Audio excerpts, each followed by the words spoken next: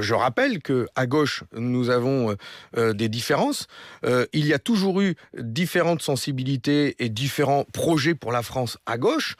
Et si c'est pour avoir un candidat unique à gauche, comme en 2012, avec l'alliance du PS et des Verts, et refaire en France la même politique que celle menée par cette majorité et le président Hollande, je n'en veux pas.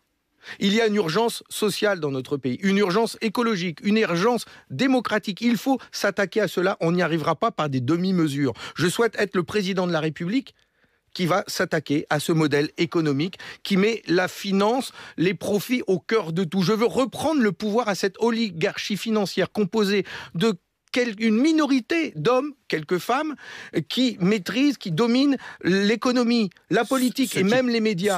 Je veux leur reprendre le, pouvoir. Il est temps de rendre la République aux Français. Et c'est pour ça que à gauche, nous sommes différents. Et je ne veux pas revivre ce qui a tant désespéré la gauche. Je veux apporter justement une note d'espoir et dire que oui, le monde du travail peut reprendre le pouvoir en France. Et c'est le cœur de mon projet, c'est ce qui me distingue de tous les autres.